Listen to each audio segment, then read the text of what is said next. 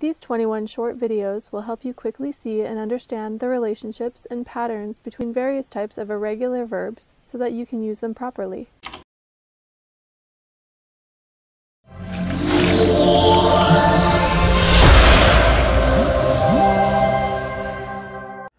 This video will help you see relationships between various types of irregular verbs in English. The key to understanding irregular verbs is to look for and notice the patterns. We'll start with the easiest ones, verbs like hit. Verbs like hit do not change in the past or the past participle. As you can see here, with hit you have the same form in the base form, the past form, and the past participle form. Hit, hit, hit. You can see other examples like cut, cut, cut. Let, let, let. Put, put, put. There's no change in the different forms of the verb. The only change comes with the S form. Now the S form of the verb is used with the third person singular subjects such as he, she, the man, the woman, the dog, it.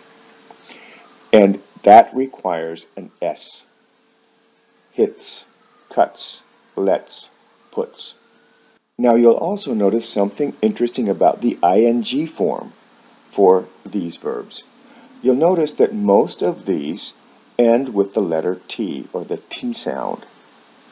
And because of the short vowel in these verbs, the final T is doubled before adding the ing. The only ones that are different are the two at the bottom, burst and cast. We don't need to double the T there because there's already a consonant before the final T.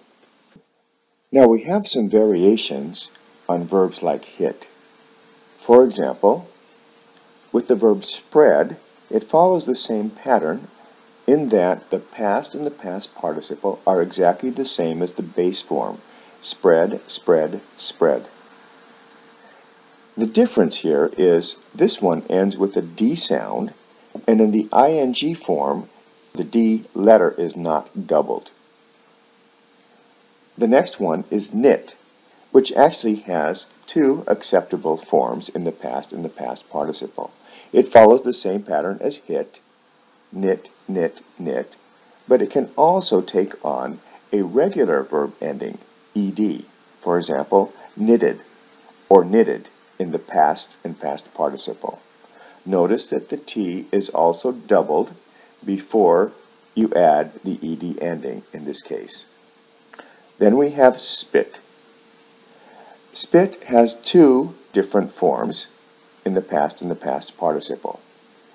It follows the basic same structure as hit, spit, spit, spit, but also acceptable in the past is spat and spat. So there are two different forms that can be used.